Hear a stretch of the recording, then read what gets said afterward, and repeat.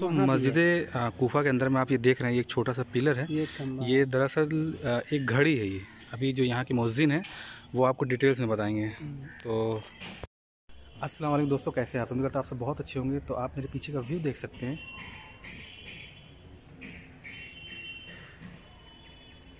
दोस्तों ये है मस्जिद कोफा। इससे पहले मैंने आपको ज़्यारत यहाँ की कराई हुई है।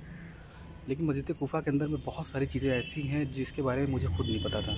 तो इस वीडियो को आप एंड तक देखिए। आपको यहाँ पर ऐसी ऐसी चीज़ों को मैं दिखाऊँगा जिसको आप सोच कर आपको ताजुब होगा कि इससे पहले मुझे इसकी जानकारी किसी भी वीडियो में नहीं दी गई है। तो यहाँ पर एक मुजिन है, मैं आपको उनसे मुलाकात करा देता हूँ। वो पूरी जानकारी यहाँ की देंगे। ये हमारे मोजिन साहब।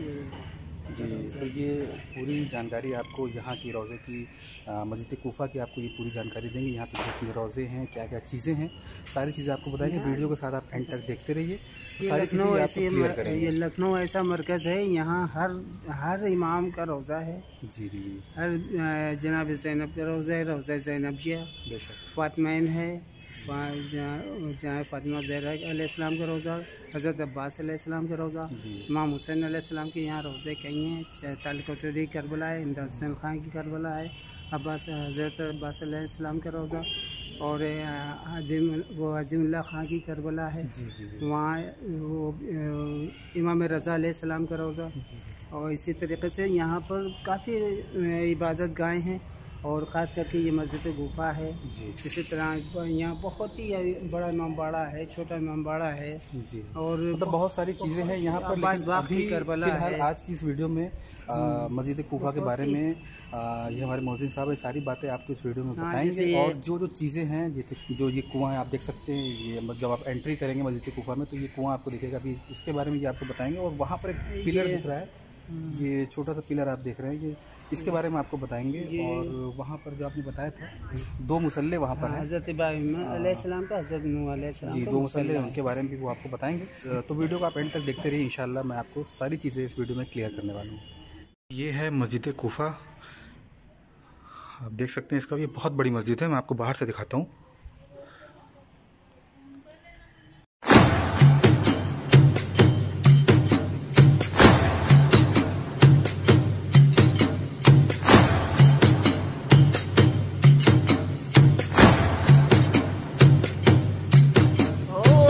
दोस्तों पहले आप ज़्यारत हज़रत मुस्लिम सलाम पढ़ लें यहाँ पे। उसके बाद मैं आपको इनके रोज़े की ज़्यारत कराता हूँ। दोस्तों, ये रोज़ा है जनाब मुस्लिम बिन अकील का। ये मस्जिद कोफा के अंदर ही जब भी आप आएँगे तो यहाँ की ज़्यारत आप ज़रूर करें।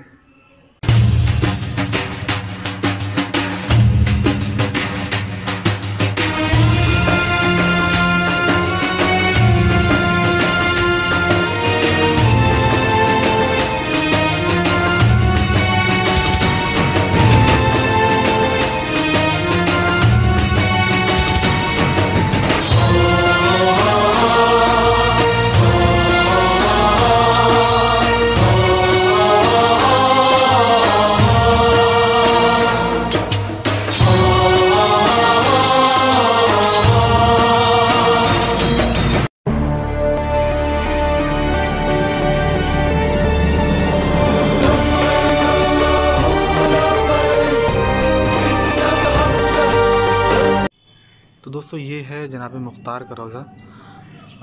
अभी मैं आपको अंदर ले चलता हूँ और अंदर की ज़्यारत करवाता हूँ आपको।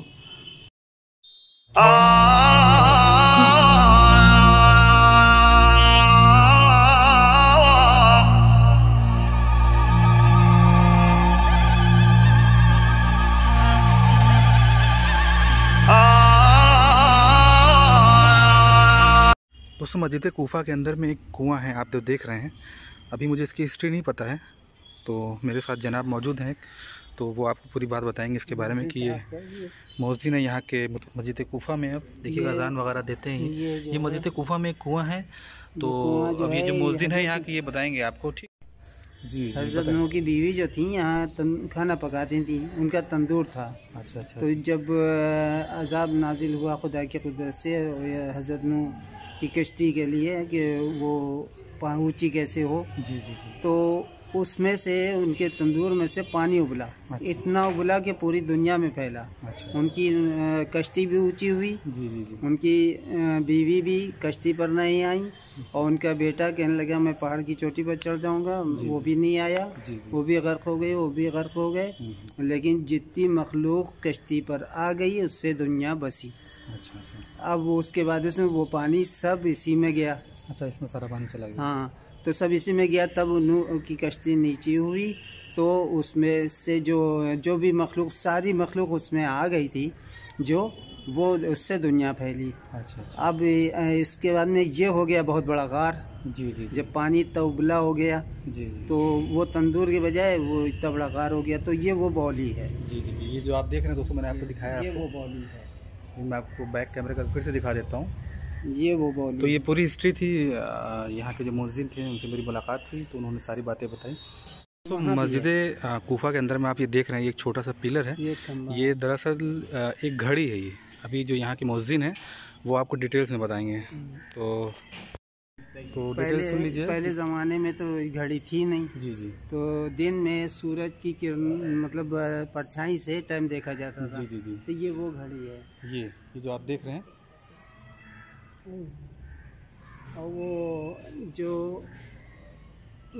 मतलब यूँ रात को जो टाइम देखा जाता था। उस सितारों से टाइम देखा जाता था कि कौन सितारा हम्म कौन- हाँ कौन ता, कौन सा तारा किस वक्त कहाँ पर आता है अच्छा। उस हिसाब से सुबह की अजान होती थी।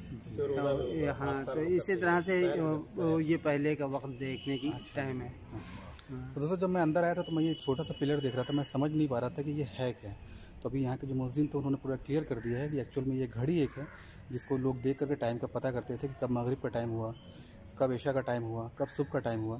तो सारी चीज़ें यहाँ पे पता चलती थी। इस छोटे से पिलर से मैंने अभी देखा तो मुझे सारी बातें पता चली। ये हज़रत इब्राहिम का वो हज़रत इब्राहिम का मसल्ला हज़रत नूह का मसल्ला। ये वाला हज़रत इब्राहिम का मसल्ला है? ये हज़रत इब्राहिम अच्छा, का अच्छा। मसल्ला है। जी जी। ये हज़रत नूह का मसल्ला है। अल्लाह मोहम्मद वाल मोहम्मद।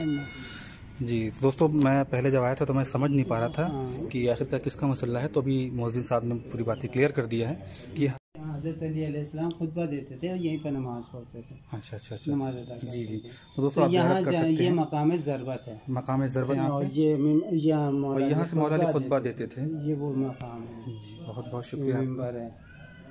दोस्तों ज़्यारत करिए दूसरों को भी ज़्यारत करवाइए। वीडियो को शेयर करिए आगे।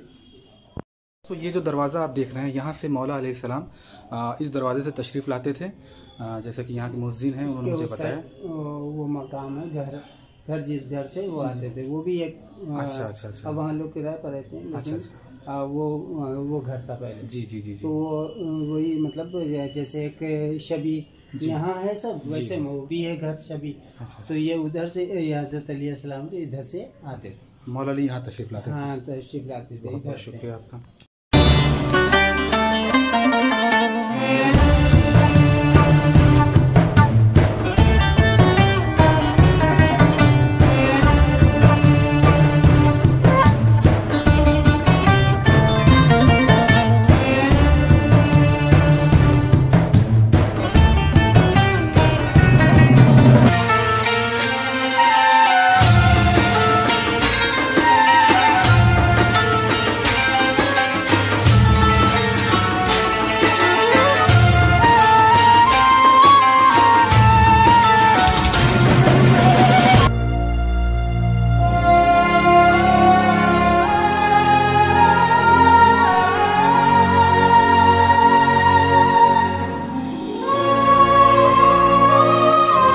ताजिया किधर दफन होते हैं आप बता रहे हैं? ये देखा है।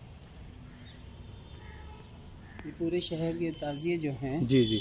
जो लोग अज़ा खाने सजते हैं जी जी। और अज़ा खाने में ताज़िया रखते हैं इमाम हुसैन का जरी बना के। जी जी जी। तो वो जब दफनाते हैं अशरे के दिन जी जी। तो सब यहाँ लाते हैं। दोस्तों तो आप देख सकते हैं। ये सब गढ़े बने हुए हैं। सब गढ़े बने हुए हैं यहाँ से वहाँ तक लगे सब तरफ़ गढ़े बने हुए हैं। दोस्तों आप देख सकते हैं। ताजिया यहाँ पे दफन होते हैं यहाँ पे। ये सब गढ़े पूरा एरिया है? जी पूरा एरिया जो है जी जी ये सब ताजिए दफनाए जाती हैं यहाँ सब गढ़े खुद जाते हैं। अच्छा। हल्के हल्के देख रहे होंगे हल्के हल्के बने हुए। जी जी तो ये सब सब गढ़े बने हुए यहाँ अच्छा जो कुछ भी है ऐसा हो और जो कुछ अछूता चीज़ें हैं या कुरान है वो सब अ, कुछ खराब हो गए। जी जी। तो वो भी यहाँ अ, चुपताजिए के साथ दफना दिया जाता है। अच्छा अच्छा वो बड़ा ता- जरी वो जो जनाबाद की जरी दफन होती थी ये वो गड्ढा है। अच्छा अच्छा और एक और गड्ढा है चुपताजिए का। अच्छा अच्छा तो वो बहुत ये बड़े बड़े गड्ढे हैं। अच्छा अच्छा अच्छा हाँ। ठीक है बहुत बहुत शुक्रिया आपका।